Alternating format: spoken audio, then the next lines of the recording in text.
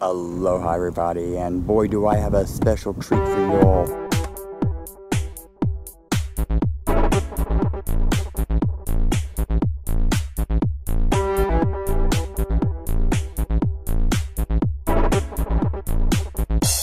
I am actually, thanks to the permission of the property owner and the neighbor of the property owner, I am currently in Fissure 24, and this is just amazing. Um, yes, this may be a little dangerous. Uh, don't think of any eruption or anything like that will happen while I'm out here. Sulfur is my biggest concern, but so far it's mostly just steam, and I haven't um, smelt but just a small few little traces of sulfur. So we're all good. Uh, I do apologize if for some reason the lens goes foggy, but there is steam out here, and I have been having a problem with uh, with just that. So where we're going now is over to the mouth of the fissure. This is where a lava fountain was emanating from the fissure crack of 24. And it is unbelievable. Now I'm not going to get too close to this edge, just give you an idea of where I'm standing. And I'm going to reach the camera out. Luckily I can turn the viewfinder around and we'll take a look down the hole. Okay, oh, and lens just fogged up. And that's because of the steam coming out of the hole.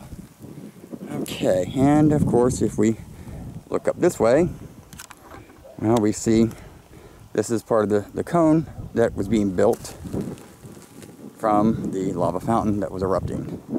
And I've got so many still images that I've been taking out here, and they are just some amazing formations out here. So we will be including those in a look at that there, of course.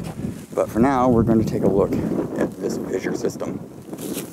And it just is amazing. So what you didn't see, which was behind us, up here, this is the, the cone wall. I'll do a 360 for you. Well, maybe more of a 180. Because the other part of the, the opening is kind of like figure 8. It's kind of a horseshoe.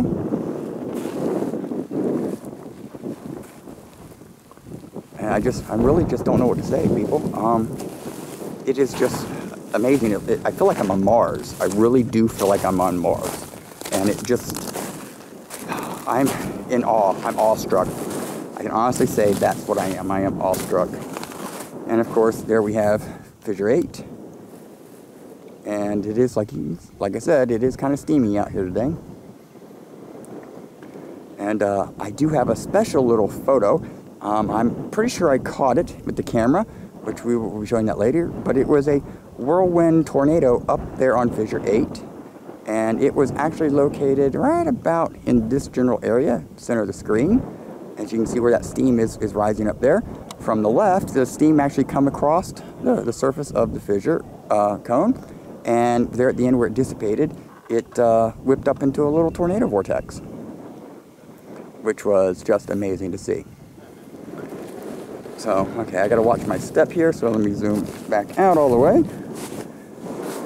Oh, goodness. So, boy, there's just so much. Just so much. I mean, look at look at this. Just look at it.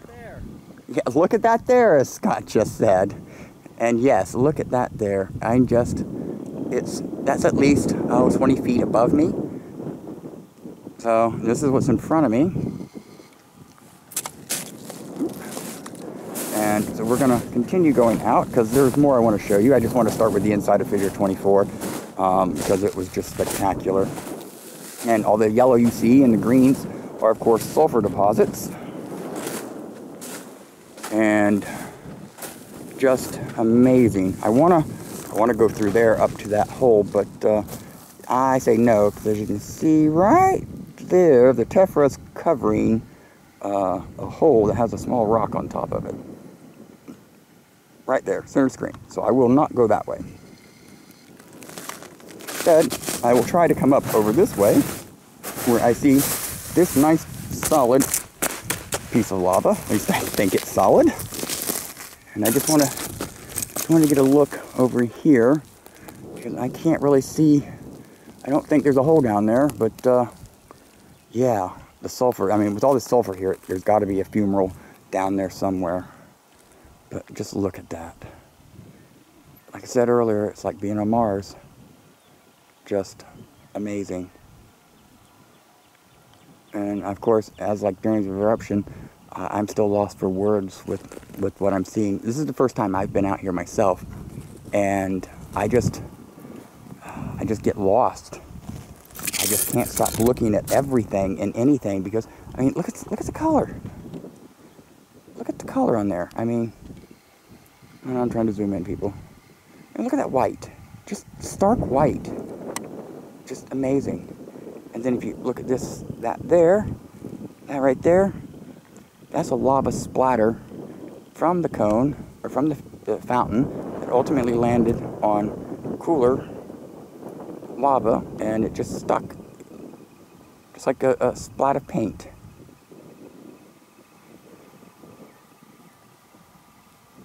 And there's just every color, every color you can think of is out here. Whew, okay, we're, we're gonna move on. that was fun. We slid down the rock I was standing on. We, I did not fall through.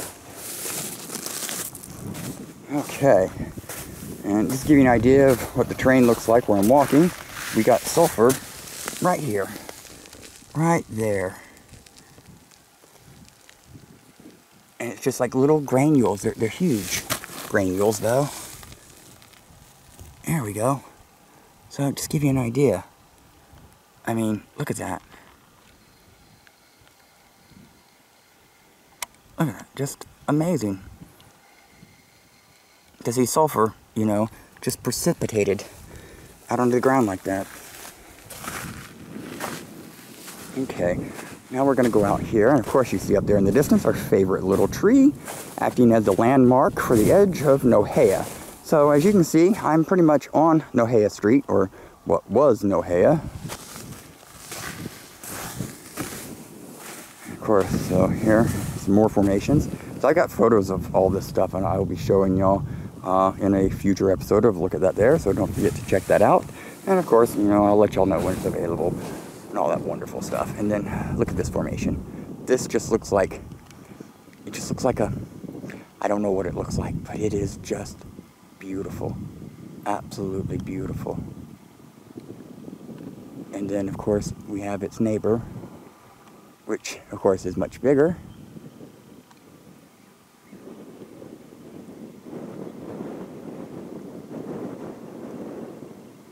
Oh, and for everybody that said the last time I used this camcorder that the Windjammer thing was working nicely, thank you. Uh, yes, it is. You can still hear the wind, so we still have our ambient sounds, but yet you can hear me crystal clear, which is nice.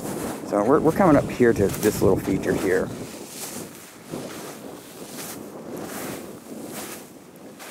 Look at this. Look at that bear. I mean, this just looks like something from a sci-fi movie. Just the colors alone. I mean, I don't even, I don't even know how to begin to describe some of these things. I know I keep saying that, I'm sorry, it must be boring to listen to. But, uh, but it is what it is, everybody.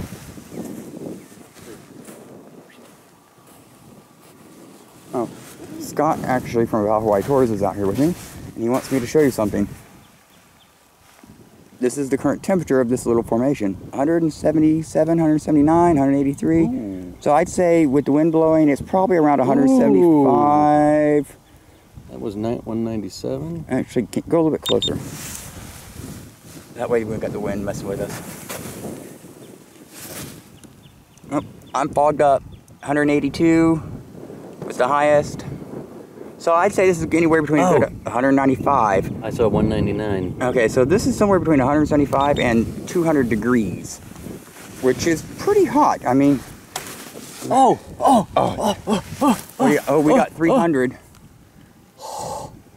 328, 29. Are you kidding? And that's down that's down the hole, so Oh hello, Sally. Yeah, so, so that's coming from that crevice there, and we're getting 335 degrees now. So it goes to show you down underneath it is still quite very hot. Wow. Very hot, which is why when it rains out here we get all the steam on the flow field. Excuse me. 339, 341. 340? Wow. Wow. And Miles right. So, okay, everybody, that pretty much does it. Uh, there's going to be probably no editing on this video, uh, maybe just a tad. Uh, but uh, nonetheless, I do appreciate you joining us. And as usual, you have an amazing morning, afternoon, or evening. Oh, and don't forget to like, subscribe, and share. Thanks, everybody. Mahalo. Aloha.